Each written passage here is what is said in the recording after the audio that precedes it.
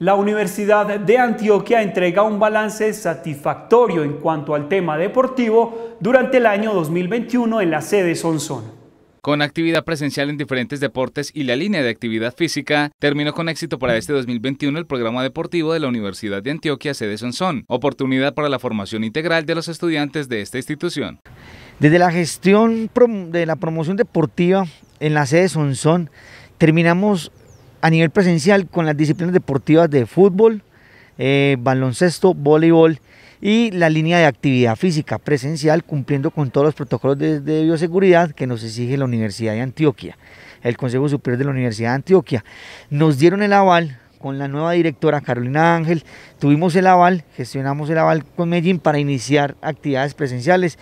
en, esta, en estas disciplinas deportivas con el fin de iniciar la consolidación nuevamente, luego de pandemia, de estos equipos representativos para proyectarnos en el próximo año 2022 en los Juegos eh, Interregionales que se hacen en la sede de Medellín, donde conglomeramos todas las sedes y seccionales de la Universidad de Antioquia. Para el 2022, la sede Sonsón de la Universidad de Antioquia espera fortalecer sus semilleros de extensión abiertos a la comunidad y sus procesos deportivos internos de cara a los Juegos Interregionales de la universidad. La Universidad de Antioquia tiene la proyección eh, a partir del próximo año, en el 2022,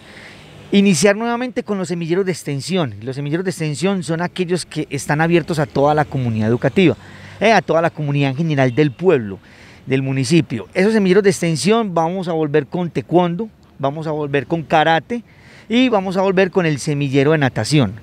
fuera de los semilleros artísticos y culturales que ya están a cargo pues de la promoción cultural de, la sede.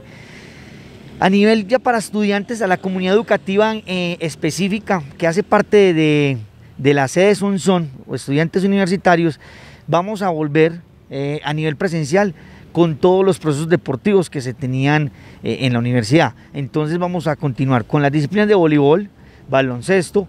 fútbol, eh, fútbol sala dependiendo de la población, si tenemos la población para fútbol sala, también tenis de mesa en la presencialidad con el fin de proyectar la principal competencia a nivel regional, que son los Juegos Interregionales 2022, que estos Juegos Interregionales van a ser en, su totalidad presencial en la ciudad de Medellín, donde eh, estamos todas las sedes seccionales de la universidad, eh, estudiantes deportistas, junto con la sede de Medellín, en ese maravilloso campeonato que es la principal excusa deportiva de todas las regiones.